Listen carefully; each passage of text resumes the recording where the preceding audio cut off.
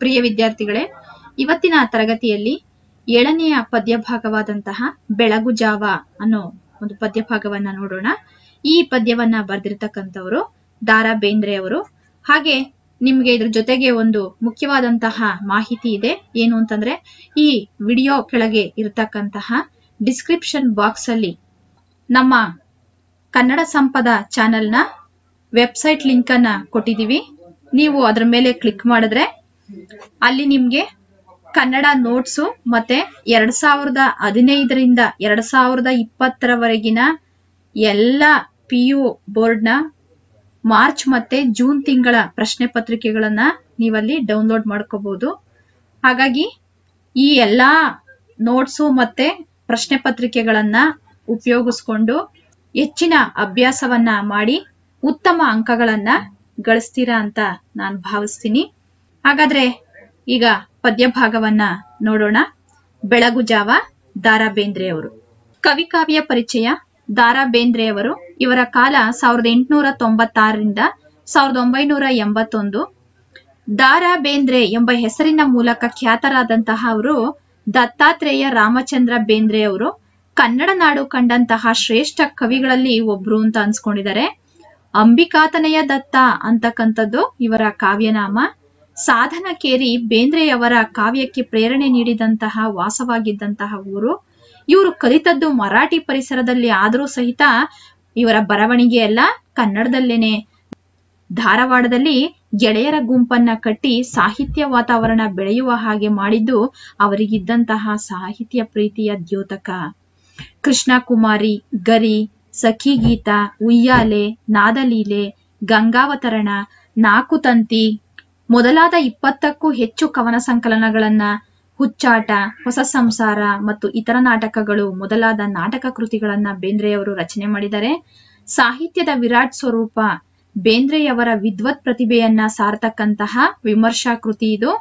ಇವಲ್ಲದೇನೆ ಅರವಿಂದರ ಅನೇಕ ಕೃತಿಗಳನ್ನ ಟಾಗೋರ್, ಕಬೀರ್ ಮೊದಲಾದ ಕವಿಗಳ ಕವಿತೆಗಳನ್ನು ಬೇಂದ್ರೆ ಕನ್ನಡಕ್ಕೆ ಅನುವಾದಿಸಿದ್ದಾರೆ.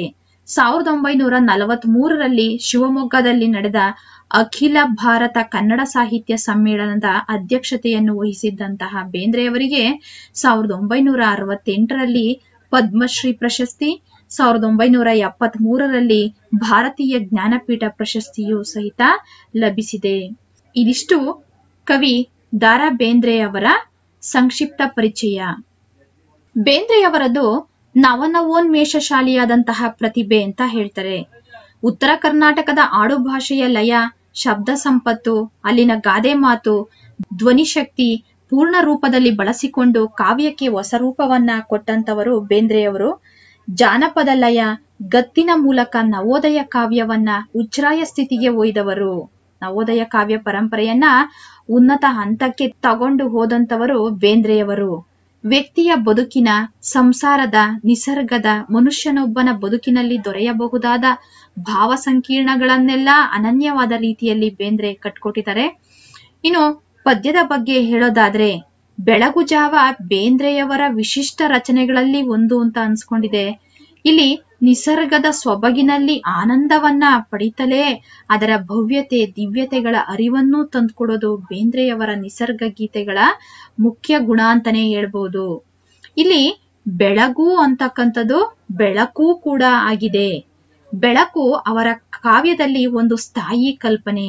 ಇವು ಬೇಂದ್ರೆಯವರ ಯಾವುದೇ ಒಂದು ಕವಿತೆಗಳನ್ನ, ಕೃತಿಗಳನ್ನ ನೋಡಿದ್ರು ಸಹಿತ ಅಲ್ಲಿ ಬೆಳಕು ಅಂತಕ್ಕಂಥದ್ದು ಒಂದು ಸ್ಥಿರವಾದಂತಹ ಕಲ್ಪನೆಯಾಗಿದೆ. ಈ ಕವಿತೆಯಲ್ಲಿ, ಪ್ರಸ್ತುತ ಬೆಳಗು ಜಾವ ಕವಿತೆಯಲ್ಲಿ, ಬೆಳಗಿನ ಸೌಂದರ್ಯವನ್ನ ವರ್ಣಿಸ್ತಾನೆ ಯೌವನವು ಮಾನವನ ಜೀವನದ ಬೆಳಗು ಜಾವ. ಯೌವನ ಅಂತಕ್ಕಂಥದ್ದು ಮಾನವನ ಜೀವನದಲ್ಲಿ ಬರ್ತಕ್ಕಂತಹ ಬೆಳಗಿನ ಜಾವದ ಹಾಗೆ, ಮುಂಜಾನೆಯ ಹಾಗೆ. ನಿರಂತರವಾದ ಕ್ರಿಯೆಗಳ ಮೂಲಕ ಯೌವನವನ್ನ ದುಡಿಸಿ, ದಣಿಸಿ, ಸಫಲತೆಯನ್ನ ಪಡೆಯಬೇಕು ಎಂದು ಬೇಂದ್ರೆ ಕರೆ ಕೊಟ್ಟಿದ್ದಾರೆ. ಮನುಷ್ಯನ ಜೀವನದಲ್ಲಿ ಯೌವನ ಅಂತಕ್ಕಂಥದ್ದು ಒಂದು ಮುಖ್ಯವಾದ ಘಟ್ಟ. ಕೇವಲ ಹಗಲುಗನಸನ್ನ ಕಾಣ್ತಾ ಯೌವನವನ್ನ ಹಾಳು ಮಾಡ್ಕೊಳ್ಬಾರ್ದು. ಮನುಷ್ಯನ ಜೀವನದಲ್ಲಿ ಯೌವನ ಅಂತಂದಾಗ ಅದೊಂದು ಉತ್ಸಾಹದ ಕಾಲ, ಶಕ್ತಿ ಹೆಚ್ಚಾಗಿರುವಂತಹ ಕಾಲ. ಹಾಗಾಗಿ ಆ ಯೌವನದ ಕಾಲವನ್ನ ಚೆನ್ನಾಗಿ ದುಡಿಬೇಕು, ದುಡಿಯೋದಿಕ್ಕೆ ಅದನ್ನ ಉಪಯೋಗಿಸ್ಕೋಬೇಕು, ಹಾಗೆ ದಣಿಸ್ಬೇಕು, ಸಫಲತೆಯನ್ನ ಪಡಿಬೇಕು. ಗಳಿಸೋದ್ರ ಮೂಲಕ ಉಳಿಸೋ ಪ್ರಕ್ರಿಯೆನೂ ಕೂಡ ನಡಿಬೇಕು ಅಂತ ಅನ್ನೋದು ಬೇಂದ್ರೆಯವರ ಮಾತಾಗಿದೆ. ಇಂಗ್ಲಿಶಿನ ಸಾನೆಟ್ ಪ್ರಕಾರಕ್ಕೆ ಸಂವಾದಿಯಾಗಿ ಬಂದಂತಹ ಸುನೀತಾ ಪ್ರಕಾರದಲ್ಲಿರುವ ಈ ಕವಿತೆ ಶೇಕ್ಸ್ಪಿಯರ್ ಮಾದರಿಯಲ್ಲಿದೆ.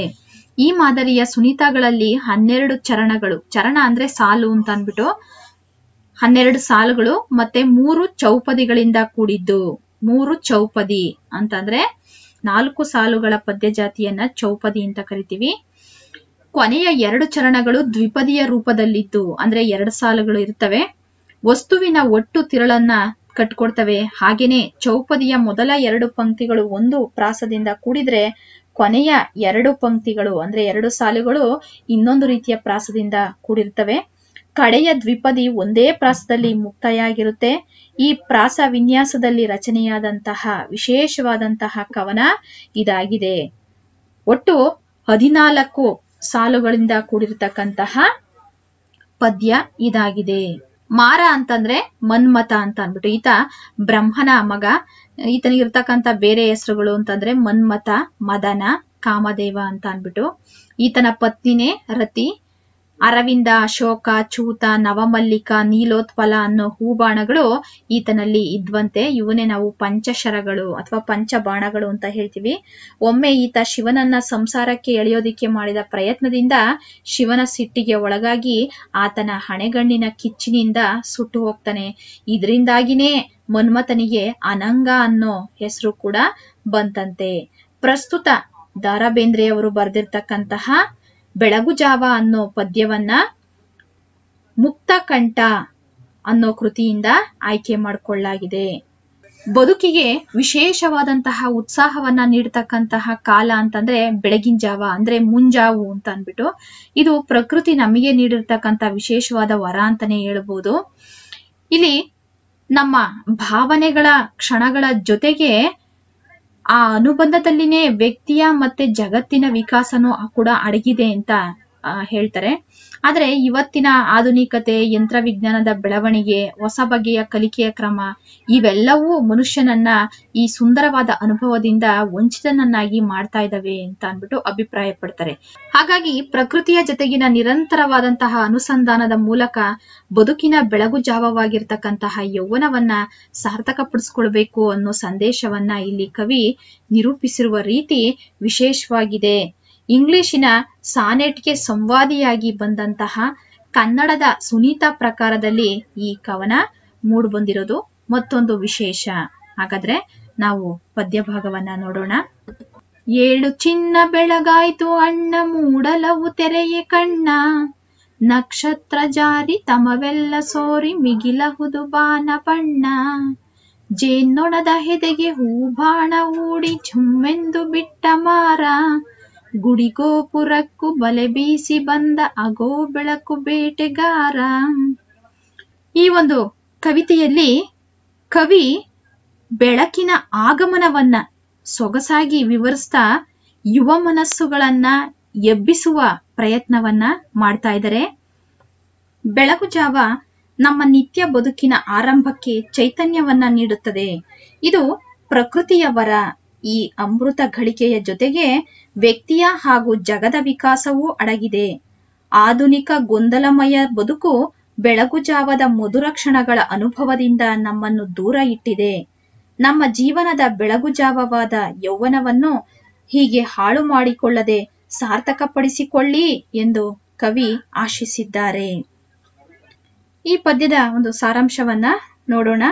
ಕವಿ ಬೆಳಗನ್ನು ಸೂಚಿಸುತ್ತಾ ಎದ್ದೇಳಿರೆಂದು ಚಿಕ್ಕವರಿಗೂ ದೊಡ್ಡವರಿಗೂ ಹೇಳುತ್ತಾರೆ. ಏಳು ಚಿನ್ನ ಅಂದ್ರೆ ಮಗುವನ್ನ, ಸಣ್ಣ ಮಕ್ಕಳನ್ನ ನಾವು ಮುದ್ದು ಮಾಡಿ ಎಬ್ಬರಿಸ್ತೀವಿ ಹಾಗೆ ಇಲ್ಲೂ ಹೇಳ್ತಾ ಇದ್ದಾರೆ ಏಳು ಚಿನ್ನ, ಏಳಿ ಅಣ್ಣ. ಎದ್ದೇಳಿ ಅಣ್ಣಂದಿರ ಪೂರ್ವ ದಿಕ್ಕು ಕಣ್ಣು ತೆರೆದಿದೆ. ಅಂದ್ರೆ ಪೂರ್ವ ದಿಕ್ಕಿನಲ್ಲಿ ಸೂರ್ಯೋದಯವಾಗಿದೆ, ಪ್ರಕಾಶ ಮೂಡಿದೆ. ನಕ್ಷತ್ರಗಳು ಜಾರಿ ರಾತ್ರಿ ಕಳೆದು ಕತ್ತಲೆಲ್ಲ ಸೋರಿ ಸೋರಿ ಅಂತಂದ್ರೆ ದೂರವಾಗಿ, ಕತ್ತಲು ದೂರವಾಗಿ ಆಕಾಶದ ಬಣ್ಣ ಬೆಳಕು ಹೆಚ್ಚಾಗುತ್ತಲಿದೆ. ಜೇನ್ನೊಣದ ಎದೆಗೆ ಹೂಬಾಣವನ್ನು ಹೂಡಿ ಜುಮ್ಮೆಂದು ಮನ್ಮಥನು ಬಾಣವನ್ನು ಬಿಟ್ಟಿರಬೇಕು. ಏಕೆಂದರೆ ಮೂಡಣದಲ್ಲಿ ಬೆಳಕು ಹರಿಯುತ್ತಿರುವಂತೆ ದುಂಬಿಗಳು ಗುಯಿ ಎಂಬ ಜೇಂಕಾರದೊಂದಿಗೆ ಮಧುವನ್ನು ಅರಸಿ ಹೊರಟಿವೆ. ಗುಡಿಗೋಪುರಕ್ಕೂ ಬೆಳಕಿನ ಬಲೆಯನ್ನು ಬೀಸಿ ಬಂದಿದ್ದಾನೆ. ಬೆಳಕು ಬೇಟೆಗಾರನಾದಂತಹ ಸೂರ್ಯ ಎಂದು ಬೆಳಗನ್ನು ಕವಿ ಸುಂದರವಾಗಿ ಸೂಚಿಸ್ತಾರೆ. ನಿಶೆಯಿಳಿದ ಉಷೆಯ ಎಳನಗೆಯ ಬಗೆಗೆ ಸೋತಿರಲು ಜಗವು ಸವಿಗೆ. ಕಣ್ಣಿದಿರು ಒಂದು ಕಟ್ಟಿತ್ತು ಕನಸು ಕೂಗೊಂದು ಬಂತು ಕಿವಿಗೆ. ಮಕ್ಕಳಿರ ಕೇಳಿ ರಸ ಕುಡಿಯಲೇಳಿ ಹುಸಿನಿದ್ದೆಗಿದ್ದೆ ಸಾಕು. ಈ ತುಂಬಿ ಬಾಳು ತುಂಬಿರುವ ತನಕ ತುಂ ತುಂಬಿ ಕುಡಿಯಬೇಕು. ಈ ಪದ್ಯದ ಒಂದು ಸಾರಾಂಶವನ್ನ ನೋಡೋಣ. ರಾತ್ರಿಯ ಮೊಂಪರು ಕಳೆದು ಮುಂಜಾವಿನ ಉಷಕಾಲದ ಎಳೆಬಿಸಿಲಿಗೆ ನಗೆಯ ರೀತಿಗೆ, ಅದರ ಸವಿಗೆ ಜಗತ್ತೇ ಸೋತಿರುವಾಗ ಕಣ್ಣೆದುರು ಕನಸೊಂದು ಬಂದು ಕಟ್ಟೀತೆಂದು ಕವಿ ಹೇಳ್ತಾರೆ. ಕೊನೆಗೆ ಕೂಗೊಂದು ಕಿವಿಗೆ ಕೇಳಿಸ್ತು, ಅದು ಯಾವುದು ಅಂತಂದ್ರೆ, ಮಕ್ಕಳೇ, ಎದ್ದೇಳಿ, ಈ ವಿಶ್ವದ ಅನುಭವದ ಸವಿಸಾರಗಳನ್ನ ಕುಡಿಯೋದಿಕ್ಕೆ, ಅನುಭವಿಸೋದಿಕ್ಕೆ ಹೇಳಿ. ಬೆಳಗಿನ ಜಾವದ ಆಲಸ್ಯದ ನಿದ್ದೆ ಅಥವಾ ಹುಸಿನಿದ್ದೆಗಳೆಲ್ಲ ಸಾಕು. ಇಂತಹ ಜಗವ ತುಂಬಿದ ಬಾಳು ತುಂಬಿರುವ ತನಕವೂ ನಾವು ತುಂಬಿ ತುಂಬಿ ಕುಡಿಯಬೇಕು. ಅಂದ್ರೆ ಜಗತ್ತಿನಲ್ಲಿರ್ತಕ್ಕಂತಹ ಎಲ್ಲ ಅನುಭವವನ್ನ ಅನುಭವಿಸಬೇಕು. ಈ ಜಗತ್ತು ತುಂಬಾ ಸುಂದರವಾಗಿದೆ. ಮುಂಜಾವಿನ ಈ ಸೌಂದರ್ಯವನ್ನ, ಅದರ ಆಸ್ವಾದನೆಯನ್ನ ಅನುಭವಿಸಿ, ಇದರಿಂದ ವಂಚಿತರಾಗಬೇಡಿ, ತಪ್ಪಿಸ್ಕೊಳ್ಬೇಡಿ, ಅದನ್ನ ಮೊಗೆದು ಮೊಗೆದು ತುಂಬಿಸ್ಕೊಳ್ಳಿ, ಆಸ್ವಾದಿಸ್ಕೊಳ್ಳಿ ಅಂತ ಅಂದ್ಬಿಟ್ಟು ಕವಿ ಈ ಮೂಲಕ ಕರೆಯನ್ನ ನೀಡ್ತಾರೆ. ಯಾವಾಗೋ ಕೋಳಿ ಕೂಗಿಹುದು ಏಳಿ, ತಡವೇಕೆ ಪಾನ ಕೇಳಿ? ಮೊದಲಾಗಲೀಗ ಅಂಗಡಿಯ ಕದವ ಈ ಕ್ಷಣಕ್ಕೆ ತೆರೆಯ ಹೇಳಿ. ಜೀವನದ ನದಿಗೆ ಸೆಳವಿಹುದು, ಮರಣ ಬಂದೀತು ಕ್ಷಣವು ಉರುಳಿ. ಹೋದವರು ತಿರುಗಿ ಬಂದಾರೆ, ಅವರು ಬರಲಿಕ್ಕೂ ಇಲ್ಲ ಮರಳಿ. ಈ ಒಂದು ಪದ್ಯ ಭಾಗದಲ್ಲಿ ಕವಿ ಹೇಳ್ತಾರೆ ಕೋಳಿ ಯಾವಾಗ್ಲೋ ಕೂಗಿ ಆಗಿದೆ ಸಾಮಾನ್ಯವಾಗಿ ಮುಂಜಾವಿನಲ್ಲೇನೆ ಕೋಳಿ ಕೂಗ್ಬಿಡುತ್ತೆ. ಅಂದ್ರೆ ಬೆಳಗಾಯ್ತು ಅಂತ ಅರ್ಥ. ನೀವಿನ್ನೂ ಎದ್ದಿಲ್ಲ. ಎದ್ದೇಳಿ ಯಾಕೆ ತಡ ಮಾಡ್ತಾ ಇದ್ದೀರಾ? ಪಾನೀಯ ಕುಡಿಯೋದಿಕ್ಕೆ ಎದ್ದೇಳಿ.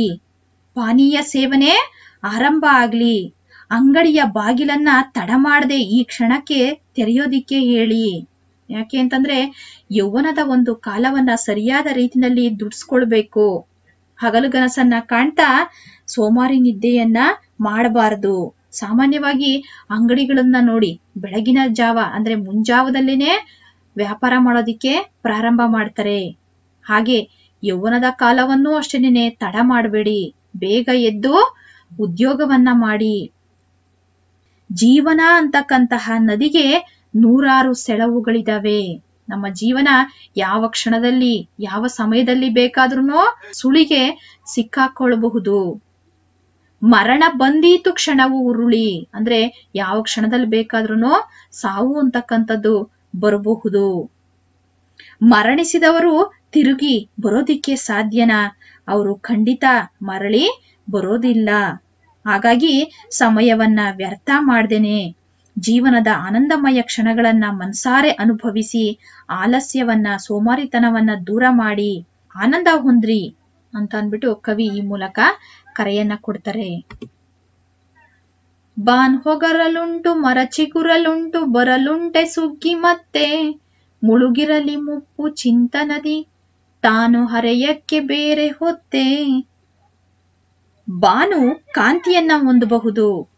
ಬಾನು ಅಂತಂದ್ರೆ ಆಕಾಶ ಅಂತ ಅನ್ಬಿಟ್ಟು. ಆಕಾಶ ಪ್ರಕಾಶಿಸುತ್ತೆ, ಮರ ಚಿಗುರುತ್ತೆ, ಆದ್ರೆ ಬರಲುಂಟೆ ಸುಗ್ಗಿ ಮತ್ತೆ. ಆದ್ರೆ ಯೌವನ ಅಂತಕ್ಕಂತಹ ಸುಗ್ಗಿಯ ಕಾಲ ಮತ್ತೆ ಬರೋದಿಕ್ಕೆ ಸಾಧ್ಯನ? ಸಾಧ್ಯ ಇಲ್ಲ. ಬಾನು ಕಾಂತಿಯನ್ನ ಹೊಂದಬಹುದು, ಮರ ಚಿಗುರಬಹುದು, ಯೌವನ ಅಂತಕ್ಕಂತಹ ಸುಗ್ಗಿ ಮತ್ತೆ ಬರೋದಿಕ್ಕೆ ಸಾಧ್ಯನೇ. ವಯಸ್ಸಾದ್ಮೇಲೆ ಚಿಂತೆ ನಮ್ಮನ್ನ ಆವರಿಸ್ಕೊಳ್ಳುತ್ತೆ. ಮತ್ತೆ ಯೌವನಕ್ಕೆ ಸಮಯ ಬರೋದಿಕ್ಕೆ ಸಾಧ್ಯನಾ? ಸಾಧ್ಯ ಇಲ್ಲ ಅಲ್ವಾ? ಹಾಗಾಗಿ ಯೌವನದ ಕಾಲವನ್ನ ಹಾಳು ಮಾಡ್ಕೊಳ್ಬೇಡಿ. ಆ ಒಂದು ಕಾಲದಲ್ಲಿ ವ್ಯಕ್ತಿಯಲ್ಲಿ ಶಕ್ತಿ ಹೆಚ್ಚಾಗಿರುತ್ತೆ, ಉತ್ಸಾಹ ಹೆಚ್ಚಾಗಿರುತ್ತೆ. ಅದನ್ನ ಸರಿಯಾದ ರೀತಿಯಲ್ಲಿ ಉಪಯೋಗಿಸ್ಕೊಳ್ಬೇಕು ಅಂತ ಕವಿ ದಾರಾ ಬೇಂದ್ರೆ ಅವರು ಈ ಪದ್ಯದ ಮೂಲಕ ಕರೆಯನ್ನ ನೀಡಿದ್ದಾರೆ.